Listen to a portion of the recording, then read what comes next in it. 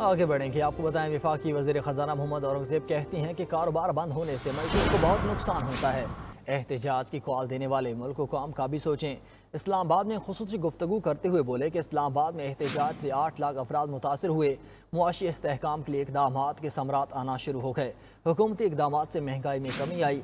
आने वाले दिनों में शरह सूद में मजीद कमी आएगी। महँगाई में इजाफे की शरह छः अशरिया नौ फ़ीसद पर आ गई है।